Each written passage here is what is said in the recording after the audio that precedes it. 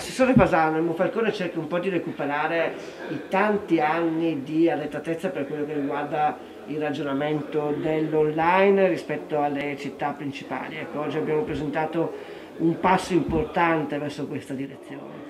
Monfalcone ha un progetto a 360 gradi di modernizzazione della città e questo strumento, questo del marketplace, va proprio in questo senso, cioè accostare alla ehm, diciamo, attività più classica dell'attività, come vendita intendo, che è quella de, appunto dell'accoglimento nel negozio fisico che tutti noi conosciamo da tempo immemore, a questo altro tipo di strumento che è uno strumento online che ci permetterà tramite questa piattaforma di creare una vetrina virtuale sull'intera città questo è un progetto che non riguarda semplicemente solamente commercianti artigiani, ma riguarda tutte le attività di Monfalcone, che sono sotto le 1200 circa, che avranno la possibilità, avendo una vetrina, di accostare alla vendita tradizionale questo tipo di opportunità che va a cogliere ovviamente le sensibilità di un territorio molto esteso che va da, sostanzialmente da Trieste, l'altopiano alla bassa isontina, ma ha, grazie anche alle peculiarità di alcune attività che hanno dei generi di